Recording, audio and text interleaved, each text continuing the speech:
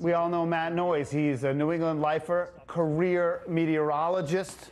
But what you probably don't know is that he went to high school with Seth Moulton. Now, not only that, they rode crew together at Phillips Academy at Andover. And before today, it had been a long, long time since they had seen each other. This, friends, uh, we'll try to leave you with something, you know, every day to make you feel good. Well, this is your feel good moment of the day. And we on Primary Source will see you on Monday.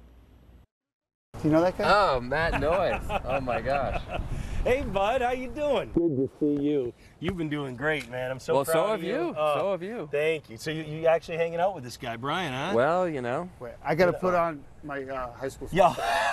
so did you know he's an exie? No, I had no idea. just- He's an exie. So here's what Oh I kind of figured. All right. Here's what I figured. They went to Andover, by the way. They were on the same boat together. We did. Rowing crew. Seth was stroke, which means everybody followed Seth. He was leading us back in the boat in Andover back in 96, and then I was sitting back behind him. So I figured we had to put a little class into Brian's uh, outfit here, you see? So this is an Andover hat for you, Brian. It says, uh, to our favorite Exie, go Big Blue. I signed, I figured maybe Seth, you could sign it too. And then, you know, you'll Oh, always that's funny. remember what class is like Yeah. from Andover, Right. you know? I'll tell people this is a hat from Andover, Mass. Not from Let's Phillips- see how it looks on you. Let's go ahead and throw it on. We'd love to see how it You looks. know, uh, the hair thing, you know I'm Oh, sensitive I know, about the I know. hair.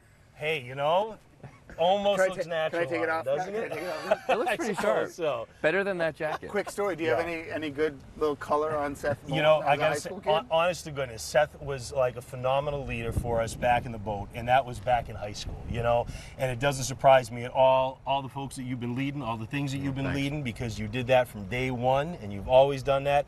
And uh, we had a lot of good times on the Merrimack River. That's we like really a political did. answer. Can you tell us? You had a bigger unibrow in high school. I've I seen the did. picture.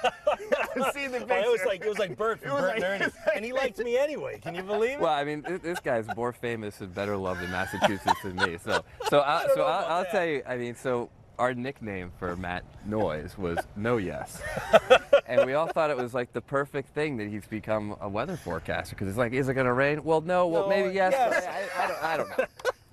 That's awesome.